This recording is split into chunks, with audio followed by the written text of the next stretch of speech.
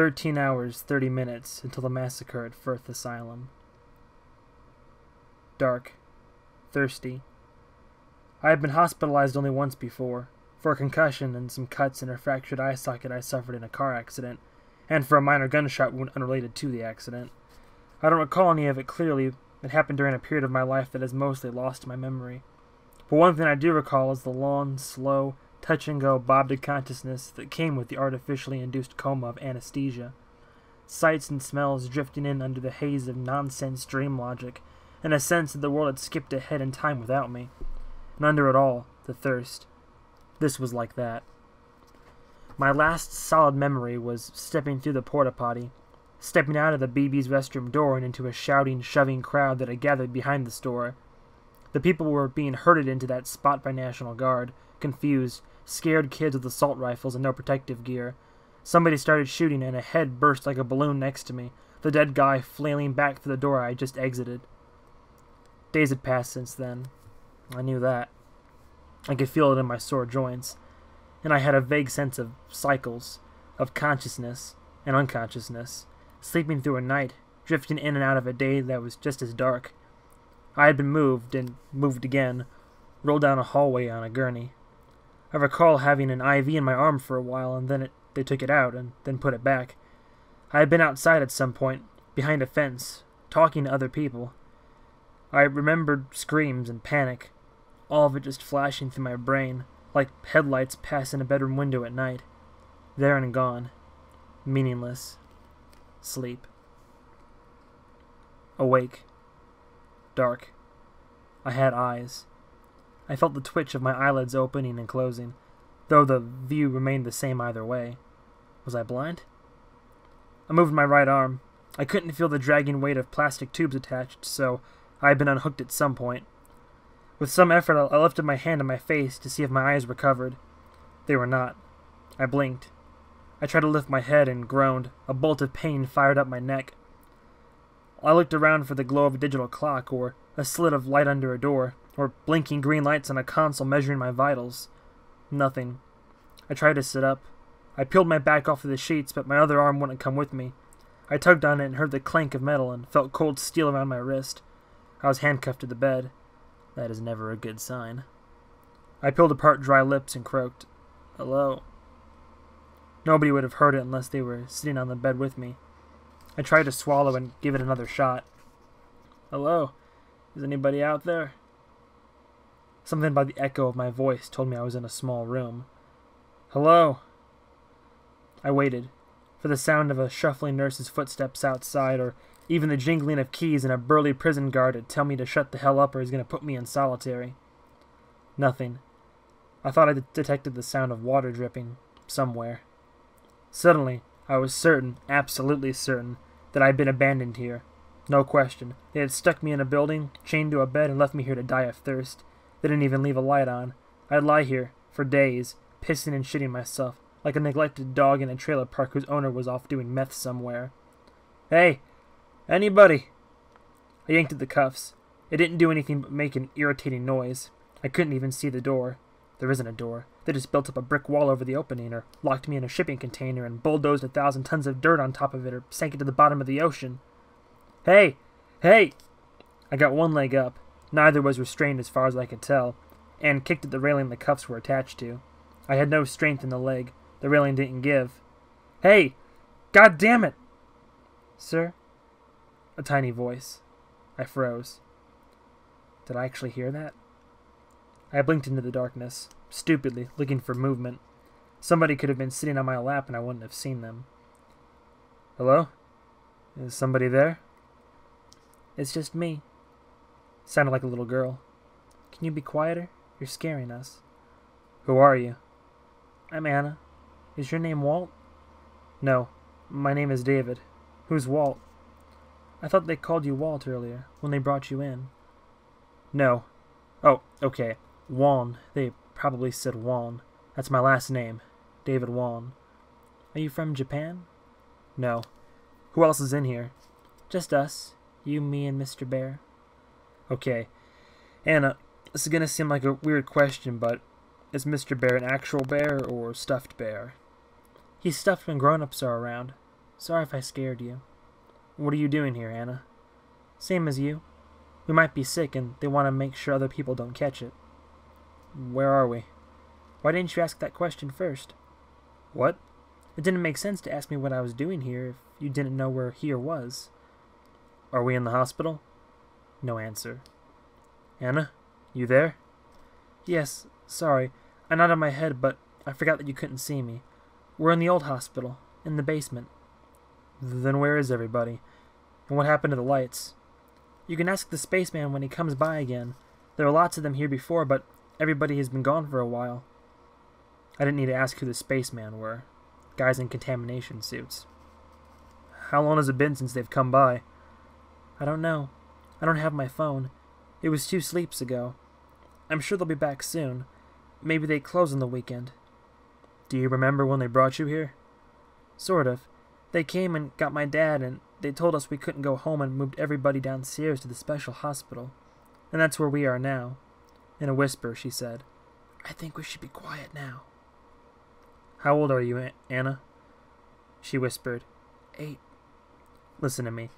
I don't want you to be scared, but they left us here with no power, no food, and no water. Now, hopefully, they'll come back and take care of us, but we have to make plans assuming they won't. If you drink all of your water, you can have some of mine. I. Do I have water? Where? On the table next to you. I reached over with my right hand and hit a row of shrink wrapped bottles. I dug a bottle out and drank half of it and went into a coughing fit. Shh! We really should be quiet. There's a box of granola bars and stuff over there too, but they're not very good. Why are we being quiet? I think I hear the shadow man. I choked on my water. Shh! Anna, we. Please. We laid in there in silence, floating in still darkness like a pair of eyeless cave fish. Finally, Anna said, I think he's gone. The Shadow Man. Yes. Describe him to me. He's a shadow with eyes. Where did you see him? Over there. I can't see where you're pointing. Over in the corner. When? When did you see him before? I mean, she sighed. I don't have a clock. What, uh, what did it do? It just stood there. I was scared. Mr. Bear growled at him, and he eventually went away. I had read somewhere that you could get out of handcuffs if you broke the bone at the base of your thumb. Or maybe just dislocated it. Either way, I'd have to find out if my legs were strong enough to do that. The issue would then be trying to get the presumably locked door open one-handed. Maybe Anna could help me. I said, Okay, we have to get out of this place. They told us we couldn't leave. Anna, you're going to find out soon that grown-ups aren't always right. We... Let's just say that it's better if we're not here when that thing comes back. But if it does, I don't want you to panic. I don't think it's here for you. I think it's here for me. Yes, that's what he said. He talked to you. She hesitated. Sort of. I could hear him. I don't think he had a mouth. Like Hello Kitty. And what did he say? I don't want to repeat it, but I don't think he likes you. I said nothing. Anna asked, Do you want Mr. Bear? No, thank you. I pulled my hand as far out of the handcuffs as I could, which wasn't far. I could feel the little knob of bone stopping it, two inches down from the thumb. If I yanked it hard enough, surely it would scrape off that bone and the blood would lubricate it. Be a matter of not passing out from the pain and me being too much of a pussy. Metal scraping. I was about to ask Anna what she was doing when it registered that, holy shit, that's the door. The door is open. I sat up and threw aside the blanket. The room was bathed in light. A pair of powerful flashlights in the doorway, side by side like the eyes of a giant robot that had poked his head up through the floor. I was momentarily blinded by the light, but I squinted and looked to the corner, yelling, Anna, get... The words died in my mouth. The room I was in now, now fully illuminated by the flashlights, contained a small bedside table, a toilet, a filthy sink, and one bed. Mine. I was absolutely alone in the room. On the floor was a tattered, filthy old teddy bear. Gloved hands grabbed me, holding me to the bed. It was two dudes wearing decontamination spacesuits, but the suits weren't white. They were black, and they had pads on the arms, torso, and thighs like body armor. Their faceplates were tinted so you couldn't see the face of the wearer. The cuff was removed from the bed rail and locked around my other wrist. Leg irons were placed around my ankles. I was dragged from the bed and marched down a long hallway lined with rusting steel doors, just like the one I had been yanked through. There were other people here, roused to life by the sound of us passing their cells. I heard an old man screaming for his wife, or daughter. Katie! Katie! Can you hear me? With no response. I heard a scraping from behind one door, like somebody was clawing to get out. I heard someone beg for food. I heard someone beg for pain pills. At the moment I passed a particular door, a male voice on the other side said, Hey, buddy, hey, open this door for me, please. It's my wife. My wife is in here and she's bleeding. I'm begging you. I stopped. I'm here. What's. The gloved hands clamped on me again to pull me along. Hey, are you going to help that guy? Hey! No answer from the guards. From behind me, the desperate voice begged and howled and wept. The hallway came to a bend and continued to the right, but I was stopped in front of a TV screen that had been mounted on the wall. There was a speaker mounted below it with a push to talk button. The screen blinked to life, and there was a man in another decontamination suit. This one the normal, friendly white like you'd expect from a government agency. The face behind the clear plexiglass mask was familiar to me, the neatly cropped silver hair and weathered wrinkles. Good morning, Mr. Wong. How are we feeling today? Dr. Tennet? What the hell are you doing here? Am I dreaming this? If we just keep answering each other's questions with questions, this conversation won't go anywhere, will it? I'm feeling like shit. Why are you here? You don't remember. Obviously not. What do you remember? A bunch of guys in spacesuits were shooting people in BB's parking lot. Got sprayed all over me. Next thing I know, I'm chained to a bed in this prison.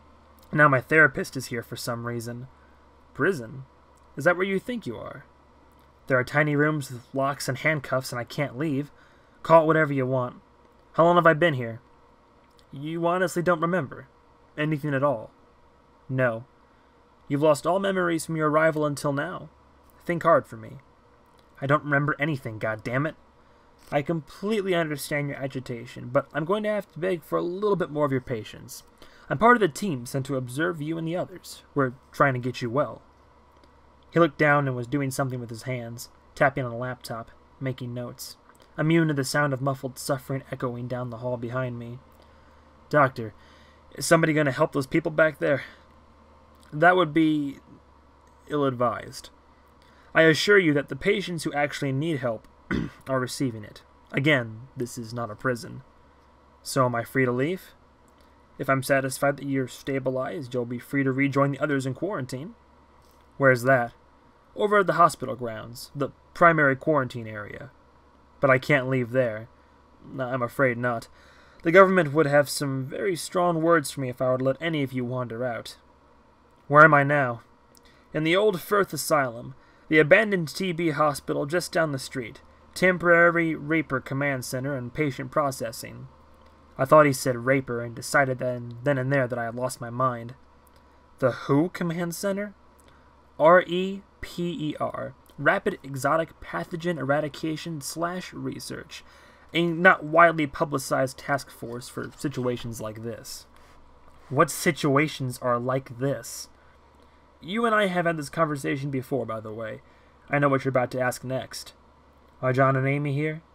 And once again, I can tell you we have three Johns Washington, Rawls, and Przinski, but no Amy's. I had a dozen follow up questions. Were they okay? Did they get out of town? Where were they now? But I knew this asshole wouldn't answer them. Wait, did you say rejoin? So I've been in quarantine before.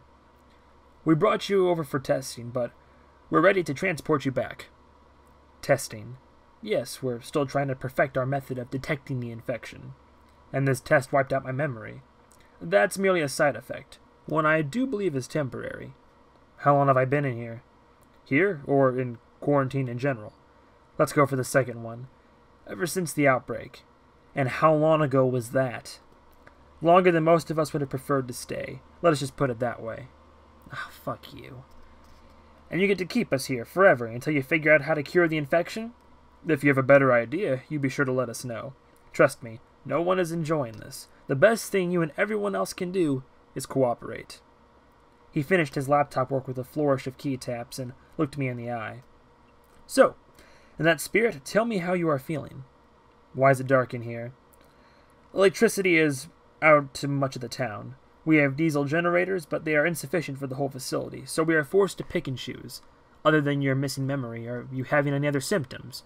Dreams? Hallucinations? Well, if I was, I wouldn't remember them now, would I? You know me, you know, because I'm missing my goddamned memory? Of course. How are you feeling, physically? I have a headache and my joints hurt. Those are expected side effects of the tranquilizers and being bedridden, and also should pass quickly. Do you recall why you were put under tranquilizers in the first place? Any question you ask that begins with the words, do you remember, is going to be answered with no. Understood. Do you feel like you are up to rejoining the others? The others? How many others are there? Can you tell me that? In the primary quarantine area? Nearly 500. At one time. Jesus Christ. And how many of them are people like me? Who do you know, who you know goddamned well aren't infected? Now, David, can't you see that I do not know that? Do I fucking look infected? Ah, I see. Due to being muddled by the medication, you are missing some key information about our circumstances. It turns out that appearances are not a perfect indication of infection. Not, unfortunately, until it's too late. So hopefully you understand that we must take precautions. Dr. Tennet, can you hear the fucking people behind me screaming for help? Can you hear them over this intercom thing? Which people? The gentleman asking help for his wife. We lost two staff members trying to help that man's poor wife. If you open that door, you'll indeed find what looks like a very frail, wounded woman. If you get within striking distance, you'll find that woman as the transfigured ton of a grindworm. A what? I'm sorry. We have to come up with names for the organisms the parasite transforms its victims into. Without getting into detail, let me just say that we spent 16 hours trying to recover our two staff members from the creature, their screams echoing down this hall the entire night, and next day as they were slowly twisted to pieces. The creature has been spitting splinters of their bones under its door ever since, so hopefully you understand why we're leaving that door locked. Fool me once, as they say. So, you just lock up everybody and wait for us to turn monster? As I said, we're making progress. But regardless, this conversation is only wasting time and taxpayer money at this point, when all I need to know is if you feel up to joining the others out in the fresh air and sunshine of the hospital lawn. We need your room, to be perfectly frank. Yeah, whatever. Great, great. If you turn to your right and continue down that hall, you'll find an elevator. And then what will... The monitor blinked off. One of the two guys behind me told me to hold still and unlocked my cuffs and leg irons. He pointed and through a speaker in his helmet said, End of the hall. I said, What about the girl? Sir, move to the end of the hall. There was a little girl in my room named Anna. I don't know if she snuck in and back out or what, but she was in there right before you guys arrived. The guy gave a glance to his partner. Uncertainty? The partner said, Move to the elevator. Are you going to go back in the room? I obeyed, my unsteady footsteps echoing in a dim hallway where the only illumination was dribbling out of a set of emergency lights to my left. Way down at the end was a barely lit elevator standing open. Halfway down, I turned and looked back for the two guards. Not there. Just lonely blackness beyond the pool of emergency light. God damn, did this seem like a long walk. My legs were weak and shaky. How long have I been strapped to that bed? What kind of drugs did they put me on? I felt my face and had no bandage there, just a little bump where the spider had bitten me. Where were John and Amy? What happened to the town? Had the world ended? Why did this hallway smell like shit? Walt. A whisper behind me. I stopped and held my breath. Had I actually heard it? I continued, the elevator waiting right up ahead in the darkness, barely enough light inside to fill the tiny space. I stopped again. I thought I could hear smaller, lighter footsteps trailing mine, or maybe an echo. I whispered, Anna? Not sure any sound actually came out. I turned and walked as fast as I could toward the open elevator, without breaking into what could be called a run. I made it inside, spun around, and punched the button that said 1. All the other buttons from there up had been covered with electrician's tape. Nothing happened. I was standing under what seemed like a 25 watt bulb that was slightly brighter than a candle. Dead silence. No. Wait. There was a faint sound. Not footsteps. A light scraping. Then a brief pause then the scrape again.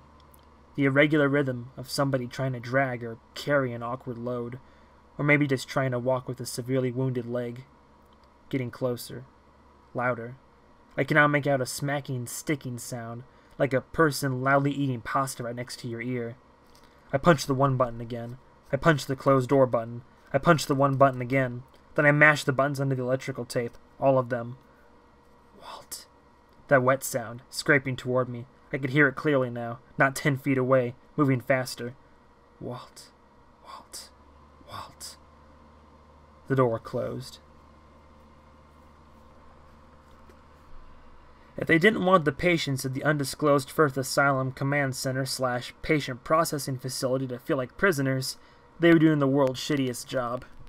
In the light, I saw I was wearing a green prisoner jumpsuit. When the elevator arrived at the top, two more black suited spacemen roughly dragged me out, put a black hood over my head, and threw me into the back of a military truck. The hospital was just a couple blocks away, but the trip took 20 minutes. We drove, stopped, waited, drove, waited again. Then an alarm went off, and I heard an electric sound like a garage door opening. We rolled forward for five seconds, then the sound again, and the clicks of latches. Then there was another gate opening, followed by the opening of the doors of the truck. I felt sunlight and a blast of cold air hit my hood. I was dragged out and told to lay flat on the grass. I was told that if I raised any part of my body before commanded to, I would be shot. Holy shit. They yanked off my hood. The truck left, and I risked craning my neck enough to see a chain link fence roll shut behind it. I turned the other way and saw that there was another fence. I was in a gap the width of a city street, between two tall fences that were each topped with coils of fuck you razor wire. The inner fence, the one opposite the one the truck had just slipped out of, was opaque. They had attached tarps or some plastic sheets to it. The goal was clearly to make sure the separation between the hospital quarantine and the outside world was absolute. The plastic sheets were colorful and had printing all, on the, all along them. The one nearest to me said 91.9 K Rock Rocktober Rockaka Rock Rockocalypse. Fuck me. I wondered how long they'd leave me laying like this, but soon a gate in the inner fence slid open and a voice from a PA system told me to go through. I obeyed and entered quarantine, apparently for the second time. I didn't know what I was expecting to find inside the gate, but it was just from the hospital lawn. The building itself was immediately to my left. I'm sorry, right. The front lawn of the hospital stretching off to my left. The sun hatefully spat daylight into my eyes. How long had it been since I'd seen the sun? And I gathered it was probably mid afternoon or so. My first thought was ribs. Meat smoke hit my nostrils, like being downwind from a barbecue joint. I heard voices. Somebody laughed. Hell, it's a party. What was stranger than what was stranger than that was what wasn't there. Men in spacesuits carrying guns. I assumed I'd be roughly dragged in and told to go report to this tent or to submit to some tests or shit. But I was on my own. No soldiers. Nobody who looked official. No staff. Instead, a smattering of tired looking people in jumpsuits, some with hospital blankets wrapped around their shoulders, were staring at me like they were expecting someone else. When they saw it was me, they all shambled away without a word. Well, screw you too. I spotted a pillar of smoke a hundred yards or so away, off near the fence that wrapped its way around the perimeter of the hospital grounds. A fence that did not, did not exist the last time I was here, and that was covered entirely in garish ads that were each wrong somehow.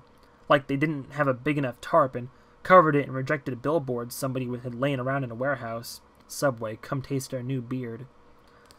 I wandered toward the fire, having absolutely no idea what else to do. It was the same strategy I employ at parties. Find the food first. My lungs quivered at the contact with the chilled air. Not an unpleasant feeling. Kind of felt like freedom. Hey, Spider Man! Spider Man's back! The voice came from above me, and I admit my first reaction was to glance around for the actual Spider Man. Why not? He wasn't here. I found the source of the voice, a black dude poking his head out of a fifth floor window of the hospital. I had no idea if he was talking to me or somebody else, so I kept walking. I couldn't help but notice the window he was yelling from was not open. The glass was busted out. That seemed weird to me. I passed a fat lady in a dark green janitor's jumpsuit like mine, sleeping under a blanket on what looked like a waiting room sofa that had been dragged out into the yard. The upholstery was discolored, like it had been rained on. I kicked an empty water bottle. It skidded and bounced off another one. Trash was everywhere. I noticed somebody had knocked over the Florence Nightingale statue, laying on its side like they had just toppled a dictator. I shuffled toward the bonfire. A lot of people were congregating over there. Everybody wearing jumpsuits, either green like mine or blood red. Tennet, tell me this is not a goddamn prison yard. I passed the main entrance to the hospital. The sliding glass doors were propped open with two overflowing garbage cans. From the dim reception area inside, it appeared the whole building was without power, post apocalypse. How long had it been? A year? I wondered if the White House was trashed like this, the Lincoln bedroom full of refugees, or zombies. I caught a whiff of that meat smell from the fire and my stomach growled. How long since I'd eaten? I felt slightly thinner, though that could have been due to the huge jumpsuit I was wearing. A clump of red jumpsuit guys were up ahead, talking and eating from bowls. I was going to ask them where the food table was, but at the sight of me they all stopped talking, giving me a look like I was a cop, and they were all hiding joints. Everybody had patchy beards, greasy hair, nobody shaving, nobody showering. On the ground were discarded plastic forks and paper plates tattooed with old grease stains and muddy shoe prints where they'd been stepped on, stepped on a dozen times. The huddle of red suits on the opposite side of the bonfire also fell silent, the bonfire, by the way, was a crackling pile of smashed furniture, wooden pallets, at least one mattress, and bundles of what looked like blackened sticks. Everybody looking at me now. I scanned around for some fellow green jumpsuits, but there was just one guy who looked about 80 years old, and another middle aged woman who looked like a school teacher. Her eyes showed no signs of even vague interest in the situation. The biggest of the Reds, a guy with shoulder length blond hair and more neck than head, said, We about to have a problem here? He had the voice of a man with four testicles. His jumpsuit was zipped down to reveal an iron cross tattoo on his sternum. Not that I know of. Can somebody point me toward the food? Nervous glances. Was the food a sensitive subject around here? Nobody seemed to have barbecue ribs. Four Balls said, You playing a fucking game here, bro? Have we met? Man, just fuck off. If I agree to fuck off, will you tell me where the food is? The man scowled and said, Ask Sal where the food is. Go ahead. He's right there. he nodded toward the bonfire. A skinny guy with a bandage covering one eye said, Let it go, man. Walk away. He said it to me. Why am I the only one who has to walk away? Maybe I want to enjoy the fire. Fourball stepped toward me and said, Dude, you got five seconds to walk away or else you're going in there with Sal. I don't give a shit what anybody says. Wait, do you have me confused with someone else? Whoa, whoa! From behind me. It was the black guy from the window, green suit. Easy, man, easy. Dude just got out of the hole. Four Balls said, I don't give a shit. Black guy grabbed my sleeve and pulled me away, saying, Let's go inside. It's cold out here. I went with him and realized he hadn't come alone. Four more green suits were with him. Wait, were we on teams? What the hell was this? Had I stepped, in, stepped into some weird alternate dimension? Again? Man, we didn't think you were coming back, he said. This is just in time, too. We got the warning buzz about 45 minutes ago, so a truck gonna be here any time. I said, I don't underst I didn't understand one word of that.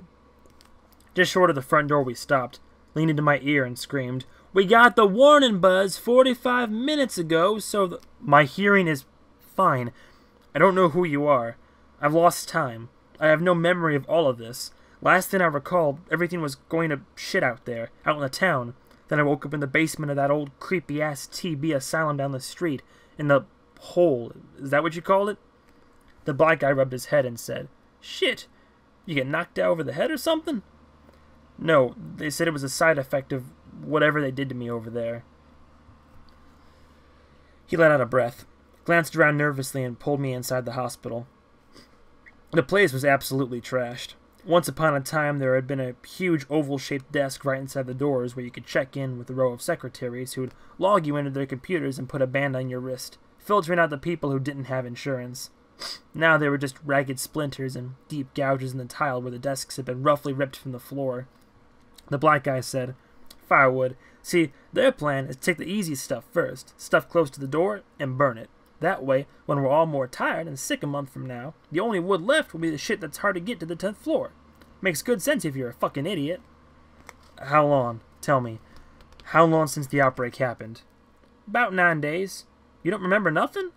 Holy shit. We trashed the hospital this bad in nine days? Oh no, man. The CDC had staff here keeping things in order for the first few. Then they bailed out. We done all this since Wednesday. This is Sunday. And no, to answer your question, I don't remember anything after showing up here. I don't even know your name.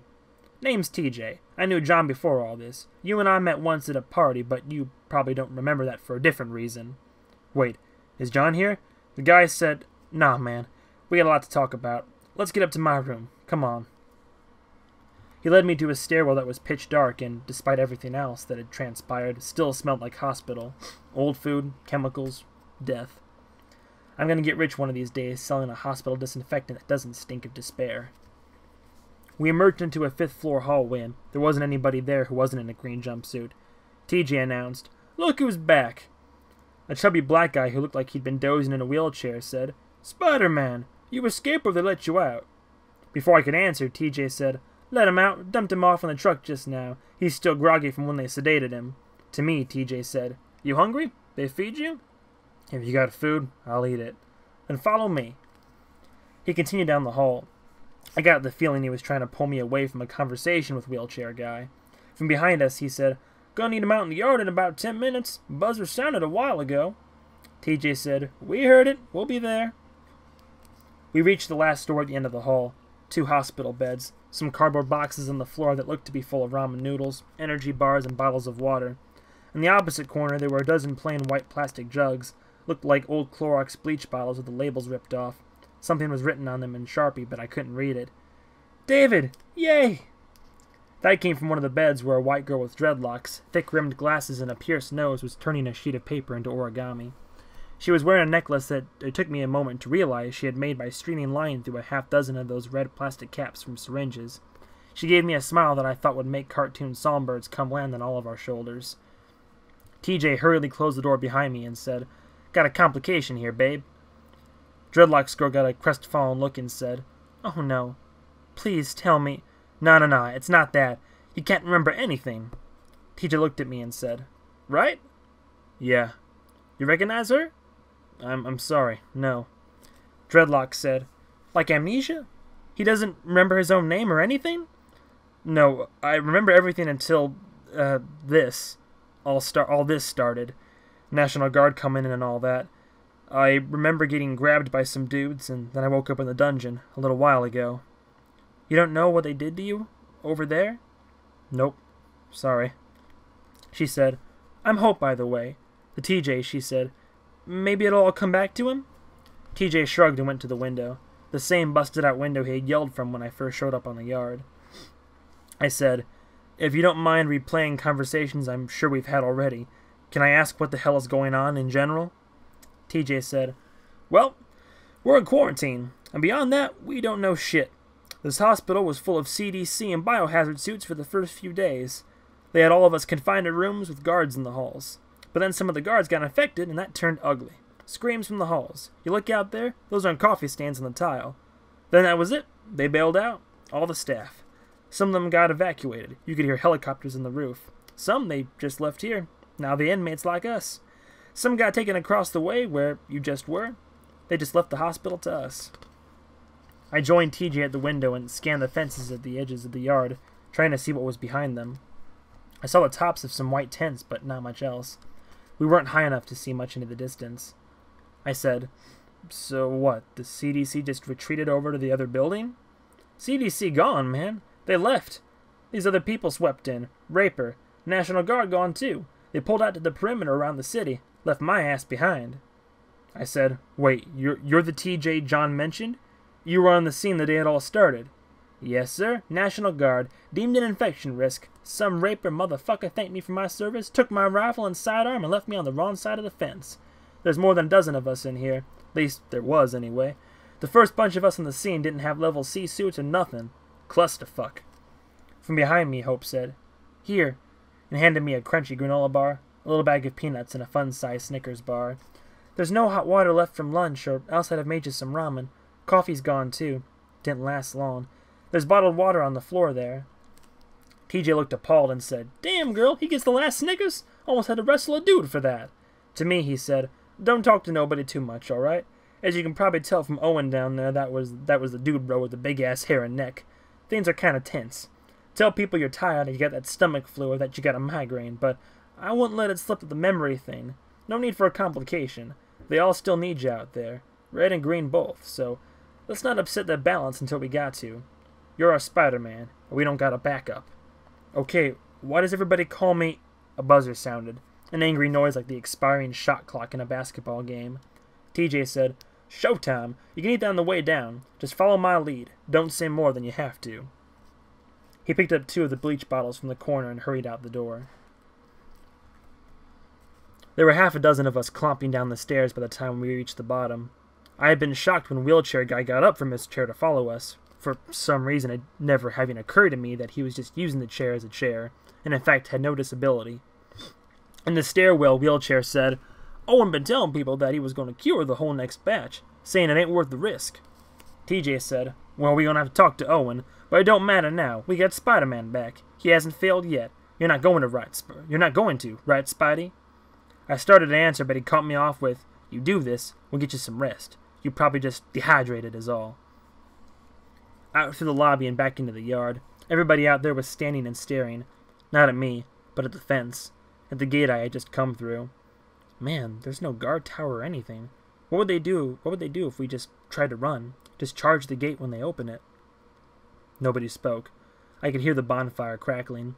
Somebody had thrown some more fuel on it since last time, piling the scraps into a pyramid shape to create that jet engine afterburner effect for when you wanted your bonfire really, really hot. If there were soldiers on the other side of the fence, they weren't shouting or shouting instructions or doing anything else. I couldn't even hear idling engines. It really did feel like we were alone, and I couldn't shake the idea that we could just walk out. Maybe everybody with guns fell back and figured that they would stop the outbreak at city limits. So why not break out of here? What makes you think the infection stopped at city limits, hmm? Last time you saw these guys in action, they didn't exactly have shit under control. There was a faded white line painted into the lawn, forming an arc around the gate like an NBA three point line. No one crossed it. No one got within 20 feet of it. I opened my Snickers and shoved the whole thing into my mouth. I dragged my peanuts from my pocket, they had an American Airlines logo on the bag, and sat down on the grass. TJ roughly grabbed my elbow and yanked me to my feet. Do not fucking do that, he hissed. Shit, man, you forgot everything. I started to ask him if those two flimsy fences were really the only thing between us and freedom, but he shushed me. He leaned into my ear and whispered, Listen, man, Buzza sounds an hour before new arrivals. Buzza means nobody gets, within a run for distance of the gate. It goes off again right before it opens as a final warning. In a few seconds, a truck gonna come through here. It's gonna be full of new inmates, people that got rounded up off the streets before they might be infected. They get processed over the asylum and run over here. Then you gonna look at them and make sure they're clean right? And how exactly am I gonna. But I didn't need to finish that sentence. Check them for spiders. Because I can see the spiders. I'm the Spider Man. I glanced down at the two white jugs TJ had set at his feet. I found Hope standing behind me. She was chewing on her thumbnail, nervous. Everybody was nervous. The air hummed with it. The fence closest to me displayed a picture of a woman's lower body wearing only underwear, a pink slogan saying, Victoria's Secret Christmas Panty Blowout. There was some faint clinks and clanks in the distance. Having heard it before, I knew it was the other gate sliding open. Beyond the plastic sheeting of the inner fence, a military cargo truck rumbled in. We heard truck doors open and shut. Engine. Exterior gate again. Silence. The shot clock buzzer sounded once more, and the inner gate finally rattled open on its own. Laying on the grass, in the exact spot where I had been minutes ago, were four people, all of them young, looking to be college age. Three guys, one girl.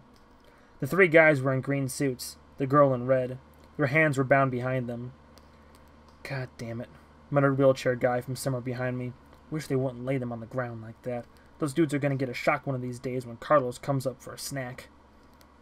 I swear that every other sentence somebody uttered in this place sounded like a foreign language. It was starting to piss me off. The four new citizens of the undisclosed spider quarantine stumbled awkwardly to their feet and shuffled into the yard. The split second the last one was through, the gate slid shut on its own. The mechanism was fast. I'd say two full seconds from fully open to locked.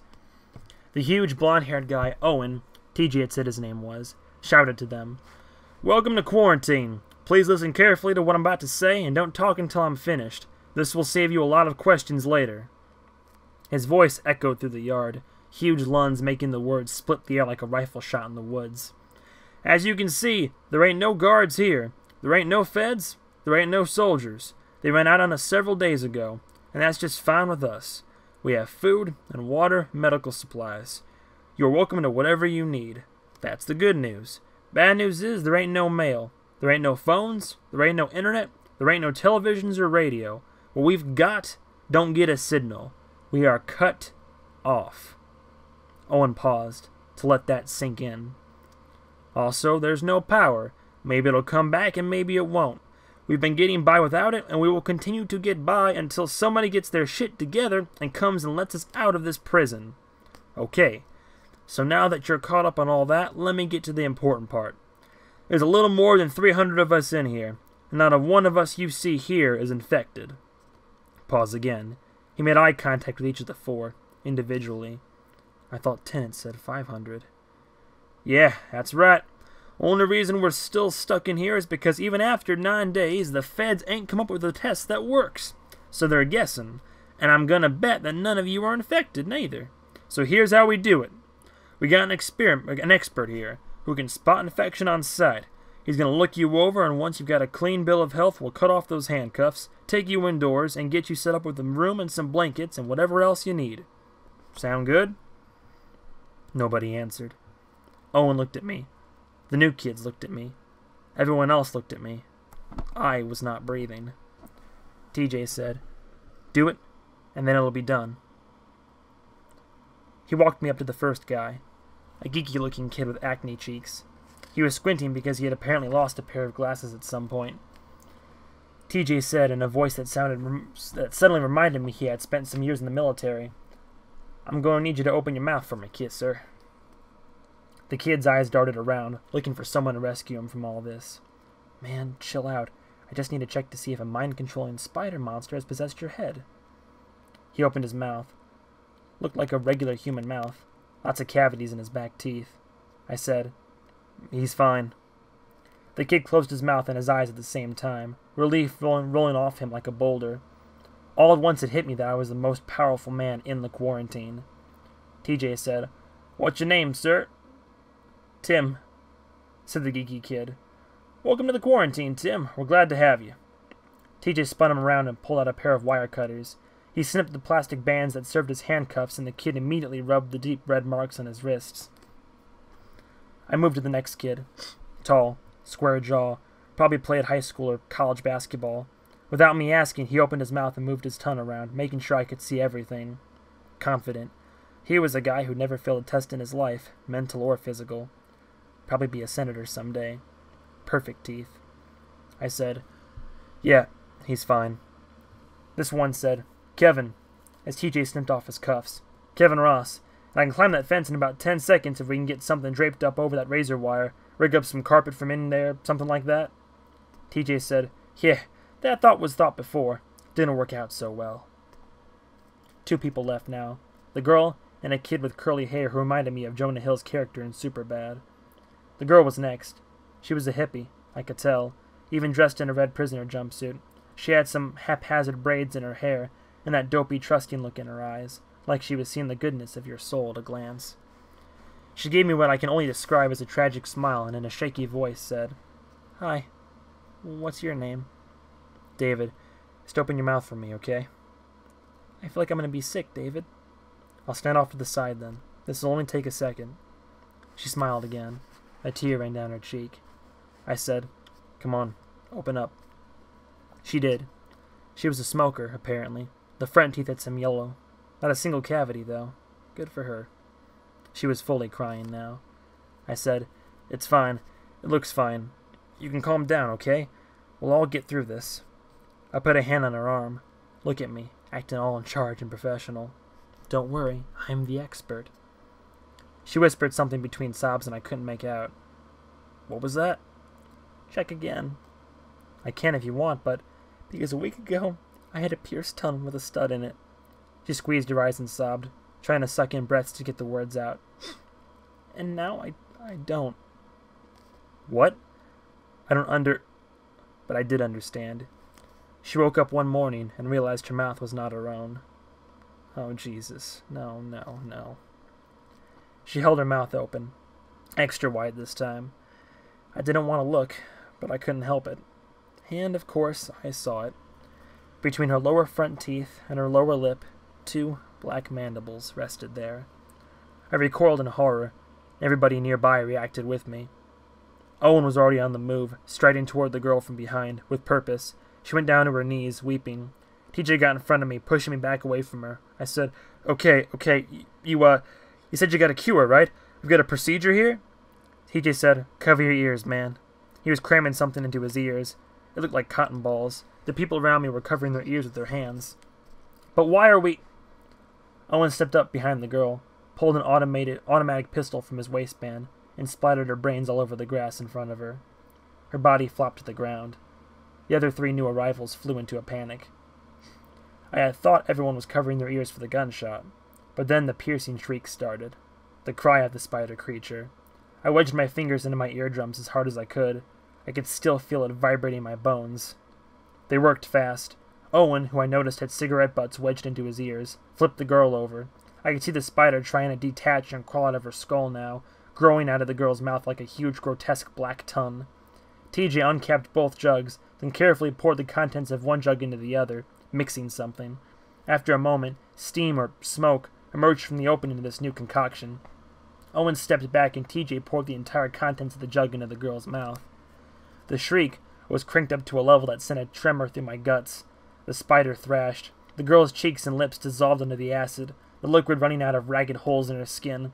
The spider was dissolving too, legs falling off as it thrashed. Eventually, its horrific cries died down, and it was still. Owen stuffed the pistol into his pants and grabbed the girl's feet. He said, Come on, before Carlos comes calling. The one I'd been calling wheelchair guy shouldered past me and grabbed the girl's wrists. They dragged her toward the, the now roaring bonfire. On the count of three, they tossed her corpse right into the blaze, sending an explosion of sparks heavenward. The flames tore into her flesh, and I smelled what I had mistaken for smoked barbecue ribs just minutes ago. Then, finally, I saw bones. In the bonfire, bones and bones and bones.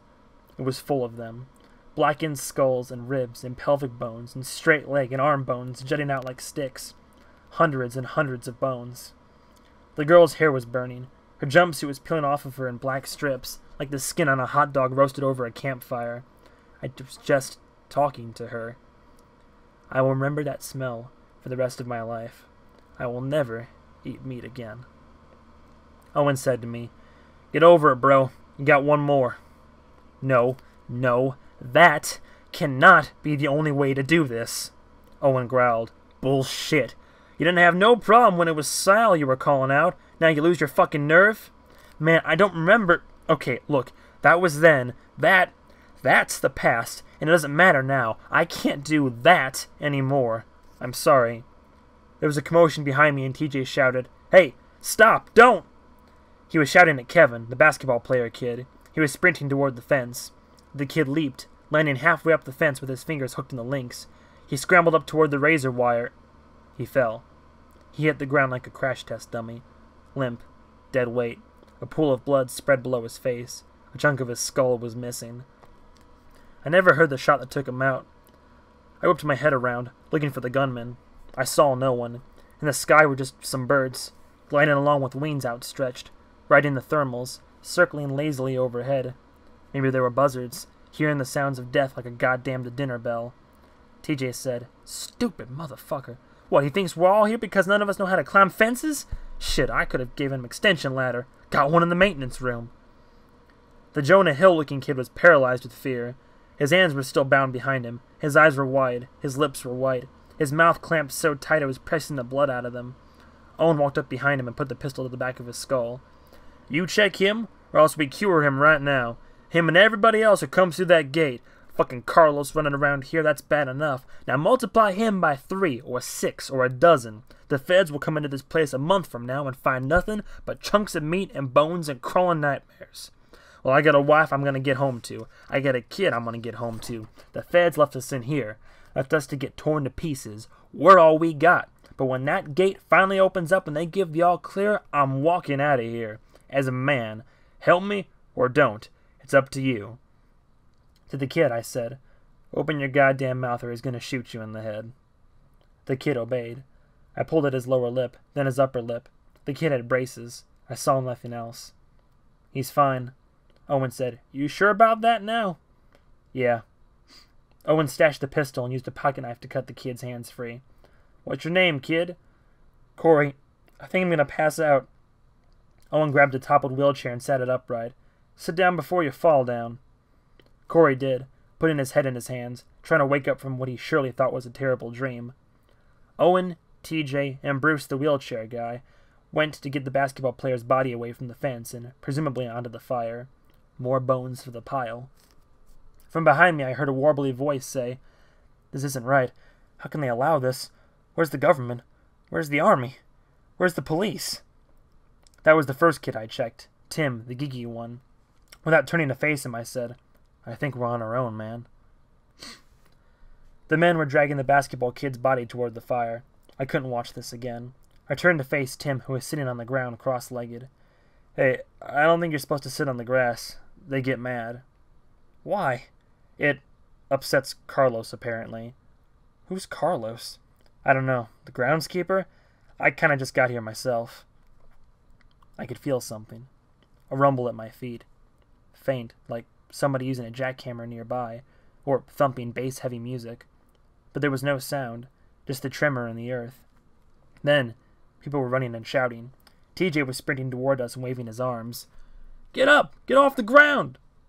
That finally convinced Tim, who unfolded his legs so he could get up. His face froze, in an expression of confused shock. His jaw flexed, his mouth working to form silent words. His eyes met mine, and I had the thought that this is what people look like when they're suddenly stabbed from behind in an alley. Hey, are you? He howled in pain, pushed himself off the ground, but he looked like his butt had been glued there. He screamed again, a garbled and halting sound as if it was coming through a microphone that kept cutting out. Summoning the thrashing animal strength of a fox ripping off its own leg to get out of a trap, Tim got his feet underneath him and pushed his body up off the ground with everything he had. He rose a foot off the grass, and in a brief moment, I could see that something was still tethering him there.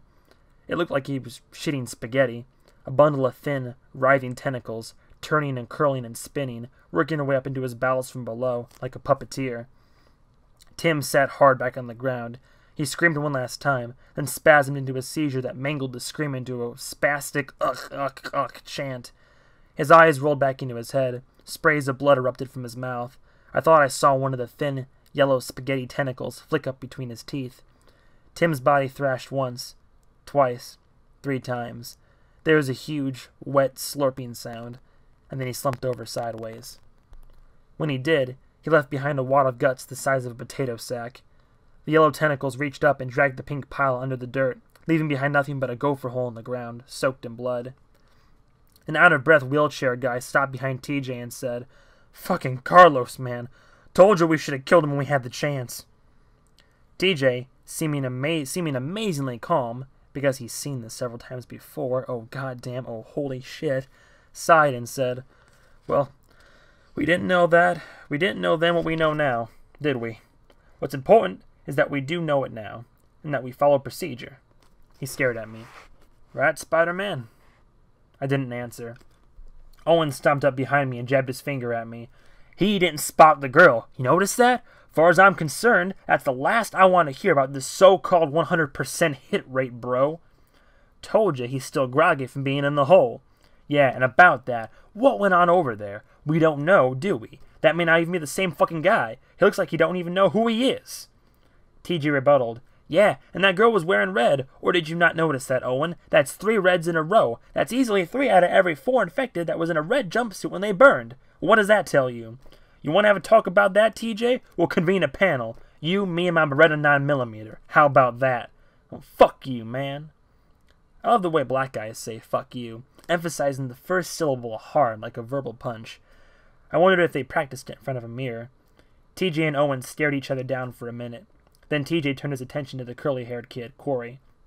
Come on, let's go inside. It's gonna stink real bad once all three bodies get to burning. Oh, and welcome to quarantine. Everybody headed upstairs. TJ said, You should get off at the second floor and see the doc. He's been asking about you. Let him see about your memory and all that. Fuck that. I wasn't heading for the second floor or the fifth. I was heading for the roof. I had to get out of this goddamned madhouse. I wanted to get up there, to look out, to see what exactly was holding us in. TJ followed me, trying to tell me what he had done all this before, and that I myself had declared that there was nothing to see. He did not seem surprised when, after hearing this, I still insisted on going up. Five minutes later, we were ten stories up, standing among the silent air conditioning units in the bird shit, looking out over the red and green figures loitering in the yard below. The wind picked up, garbage blowing around with it, fluttering paper plates and food wrappers. The trash was starting to pile up against the western fence like a snowdrift, and among all this, the inmates, clumps of red and clumps of green, huddled in conversation. It looked like the world's shittiest Christmas pageant.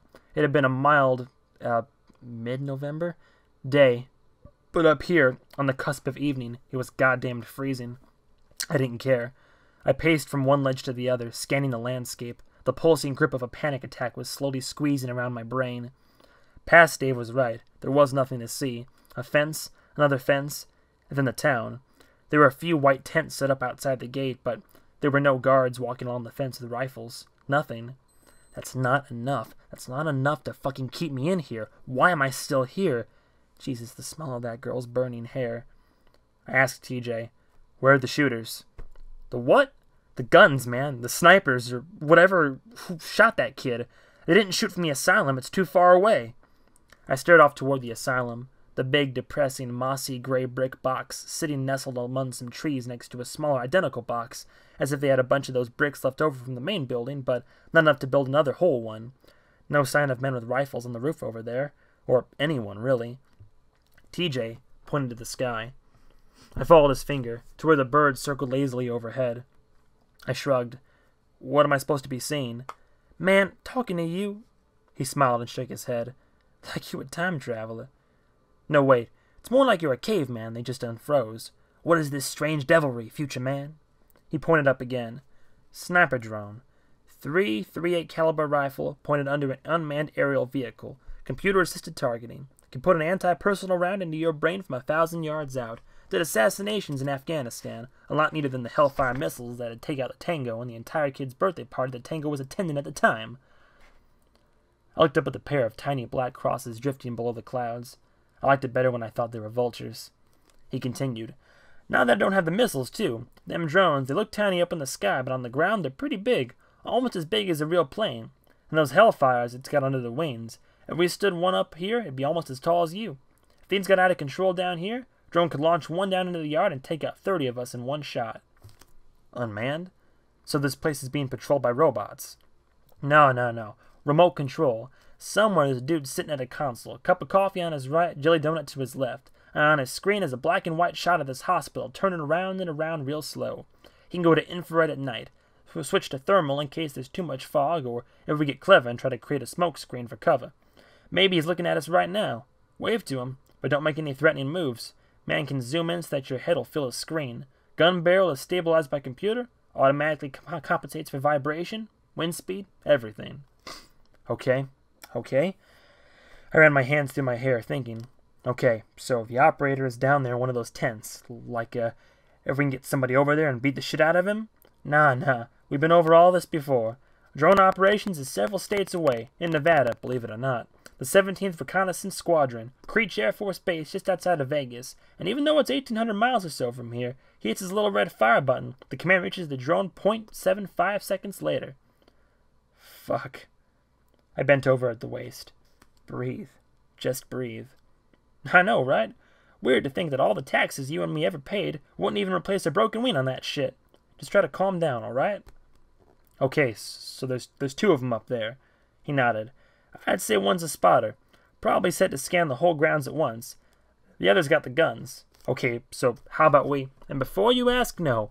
We can't all rush the walls to different spots at once to give them too many targets to hit. They got ground-based handwear outside the fence, unmanned units called gladiators. Just look like little jeeps, only with no place for a driver to sit. Guns mounted on the back. Between them, they got sensors in the ground that detect vibration. They got motion detectors, body heat sensors, lasers, all that shit. Anything bigger than a bunny rabbit tries to sneak through, something bad will happen to it. And no, we don't have any way of tunneling out. Even if we had equipment, which we don't, and the means to do the work without the UAVs noticing, which we also don't, where do we tunnel to?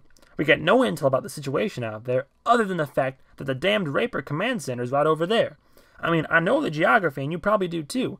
But even if we could find an exit spot with nice soft dirt, one that's secluded and not too far away, how do you know you don't pop up right into a patrol? Six weeks of digging wasted. There's that word again. REPER. You ever hear of that in your life before this week? He shook his head. Nope.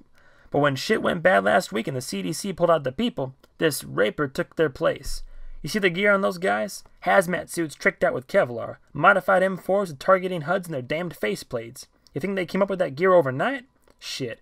Each of those units probably cost half a million bucks. That's specialized equipment, and all these dudes know exactly what they're doing. They sweep in and suddenly they're in charge. They're ordering around us National Guard like we answer to them, and nobody says shit otherwise. They tell me to stay behind, and I'm like, bullshit, I'm getting on that chopper. But guess what? Here I am. Never seen anything like this. I walked back across the roof to look out at the rear of the building and a little strip of wood, woods that, from up here, looked like the end product of a Brazilian bikini wax. Smoke rose in the distance. Maybe somebody else's house on fire. I heard no sirens. TJ followed me and said, you know, this conversation is a lot more discouraging the second time round. I said, But there's somebody here. That's what I can't get over. The whole operation on this side looks like it's staffed by like two people. So what, it's all just the drones and sensors and shit? Well, yeah, they're trying to keep down the infection risk. They don't need people like me swelling the ranks of the infected. And if you ask me, the automated shit seems like it's working just fine. You saw that kid try to climb the fence.